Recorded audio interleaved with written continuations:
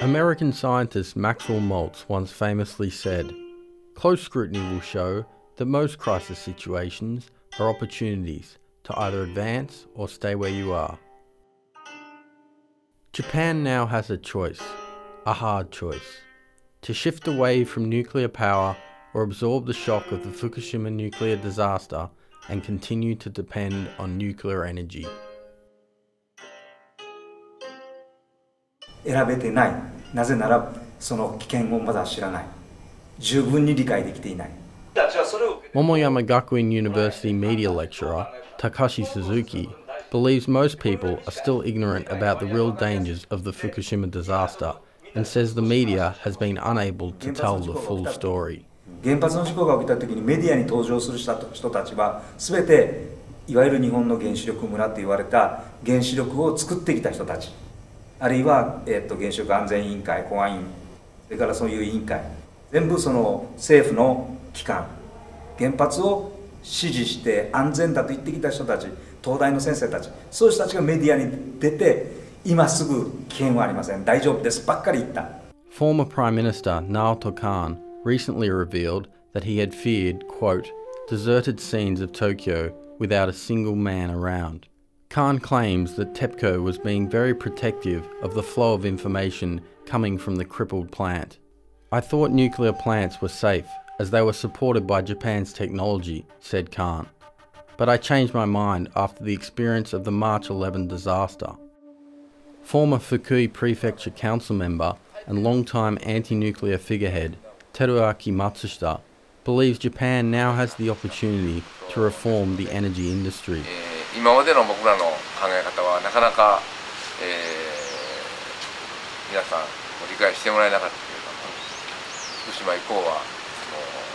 うがぜん変わってきた。Matsushita argues that the monopolization of the nuclear industry has marginalized public safety concerns. 3分の電力需要の3分の2ぐらいは自由化されたんですが実態としては関西電力のシェアはねえー、ほとんど独占に近い一般家庭までを含めた、えー、全ての需要を自由化してねそれで、えー、電力のプール送電線とかそういう部分を、えー、公共的な事業として残して発電部門は競争させるというシステムに、えー、変えればね、えー、ほとんど問題は解決できると思います。一般あの市民がいろんな危険を訴えてもね横柄な態度でその意見を無視してきた。耐震安全性はね現状では役に立たないということを僕ら言ってきたんですね。で津波も大きなものが来るということを言ってきたんですが彼らは耳を貸さなかった。ね国と要するにま官僚たちですね。それと電力会社が結託してで電力会社と国はマスコミにえー、大変なお金を使ってコマーシャルを使ったりとかですね競争もないのにコマーシャルを使ってそれは何かあった時に悪い報道をしないようにねでそういう制度を僕らは変えたい Recently appointed Japanese Prime Minister Yoshihiko Noda has promised to implement a new energy policy focused on reducing the nation's dependence on nuclear energy. But will the new Noda government have the willpower or the political backing? A huge challenge given a national energy framework locked in a web of corporate and bureaucratic dealings and a political landscape that has churned out five prime ministers in as many years.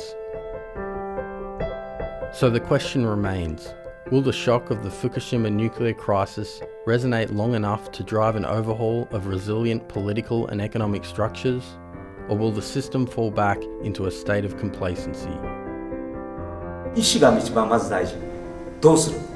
もう10年後？あるいはもう今やめるのか？それとも続けるのか？そこからまずスタート。